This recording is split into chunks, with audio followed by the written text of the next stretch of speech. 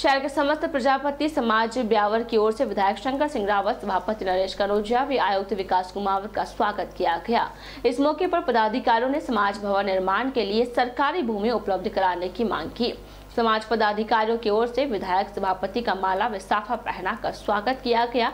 इस मौके पर उन्होंने बताया कि बिचल्ली मोहल्ला नवग्रह मंदिर के सामने प्रजापति समाज का भवन निर्माण का कार्य चल रहा है। इसे सड़ती हुई करीब 30 से 35 वर्ग गज सरकारी ज़मीन है, जिसे समाज भवन को आवंटित कराए। स्वागत करने वालों में अध्यक्ष अमित प्रजापति, लालचंद डेगाना, रामेश्वर लाल, मदन लाल, लालचंद नंद लाल किरोड़ीवाल दौलत प्रजापति, कन्हैया लाल, हीरा लाल, नसराबाद वाले नौरतमल कड़ीवाल, जैन भाई हलवाई, मोहनलाल, सुरेश गोपाल तथा मुकेश प्रजापति सहित अन्य लोग मौजूद थे।